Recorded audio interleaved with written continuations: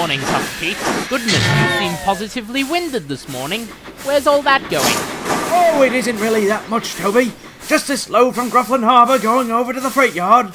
Anyway, what are you up to, Toby? Oh, nothing much, actually. Taking workmen down to the city, some rocks from the quarry up to the harbour, and uh, this load from the mines up to. Where was it again? Oh, yes, the marshalling yard. Those shunters need their coal, you know. Super! Good to know we're getting good loads of the day. Oh, if you see Puffle, can you ask him if he's on his way to the freight yard now with those trucks in the yard? Slow down, you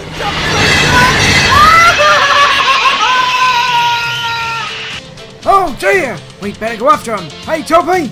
Sure thing. We'll leave our loads here and come back for them later. Hold on, Puffle! Okay, Puffle, whatever you do, don't crash. I said don't crash.